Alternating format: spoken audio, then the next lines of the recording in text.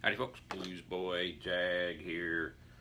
This is a fretless Little Mojo. Fretless three string. I sell a tin of these, like a tin. Fret markers, no frets, three strings, tune A, E, A. This has a transducer pickup in it, one volume control, as you can see right there, sound hole, as you can see right there.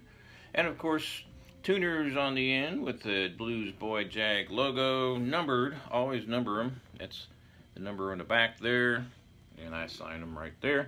This little doohickey right here allows you to raise or lower the strings just a little bit.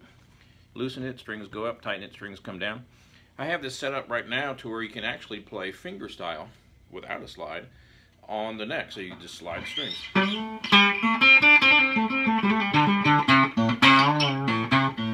Which I do a lot when I'm playing the fretless. I do like the walking bass line.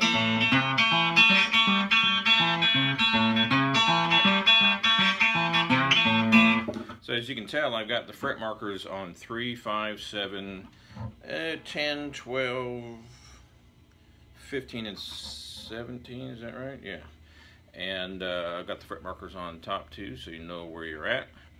And of course strap holder strap holder. I put extra weight inside the box so it's balanced when you're on stage with a strap balanced about like this instead of like that which makes it a lot easier to play. Also increases your sustain tremendously. Okay so here is a slide. I've got this coming through a an old uh, 48 1948 amp so there's no tone control on my amp so it's a little bit bright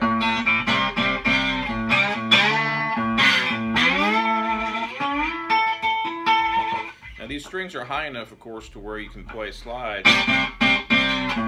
without dragging on the neck. But also as I showed you before if you wanted to actually finger those notes and slide on the neck you can do that as well it's hooked up to a uh, quarter inch, regular quarter inch jack, like I said, one volume control. That right there is your bridge. It's one bolt. If you want to raise the strings, you can put a bigger bolt in there, a taller bolt. And I got the little screws in there that keep it perfectly intonated. So that's a floating bridge. They've been around since ooh, 1600s, 1700s. And basically the strings keep it in position and those two, two screws right there right in front keep it in position as well. So, it's perfectly intonated all the way up the neck. Put about 10 to 15 coats of polyurethane, depending on the box. Sometimes the box requires more because it soaks in. And this was one of those. I think I put about 12 to 15 coats on here. Shiny. That'll protect it, keep it from getting all scratched up. There you go, folks. Three string. Little Mojo. Fretless.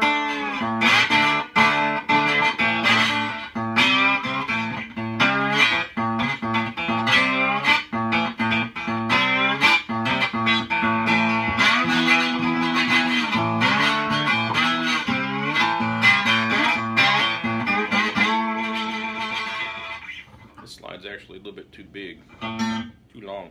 By the way, this is a socket to a socket wrench set. I think it's 11 sixteenths. What does it say here? Or does it even say?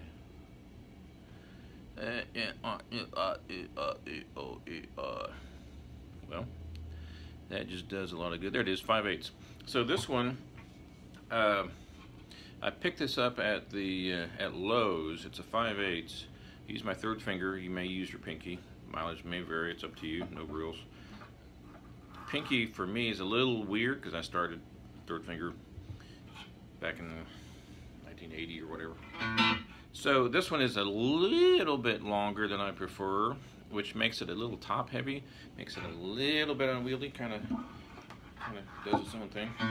So I kind of prefer a uh, shorter slide. It makes it a little easier to play. So it's a little heavy. Just kind of flops around a lot, so I'm kind of like, you know, hitting strings I don't want to hit. Anyway, that's beside the point. This is a Blues Boy Jag Little Mojo fretless I started out making the fretless cigar box guitars and made them for years before I ever put frets on, five, six years, and sold a ton. I mean, like tons, like tons, like a couple thousand. And they were just, just like the coolest flying off the shelves. And then I put the frets in, and I kind of got away from doing the, the fretless, and I started getting requests for the fretless, and now I'm selling tons of fretless again. So, uh, there you go, folks. Blues Boy Jag, Little Mojo, transducer, fretless cigar box guitar. Once again, thanks for watching. Thanks for your kind support, Toodles.